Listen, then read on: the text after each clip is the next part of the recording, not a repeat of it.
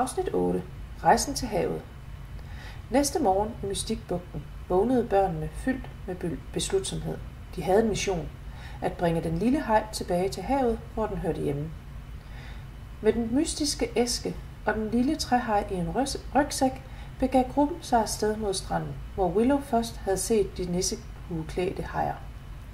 Havet var roligt den morgen, og solen kastede gyldne stråler over vandet, mens børnene nærmede sig kysten.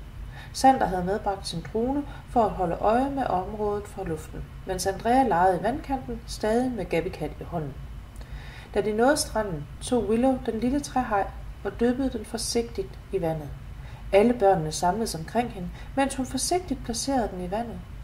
Det var et magisk øjeblik, da hajen pludselig forvandlede sig til en rigtig levende hajunge med den fineste nissehue på hovedet. Den svømmede væk med raske haleslag. Vi gjorde det, udbrød Dagmar, mens de andre klappede og jublede. Men netop som de troede, at deres eventyr var forbi, lyste den, my- den mystiske æske op.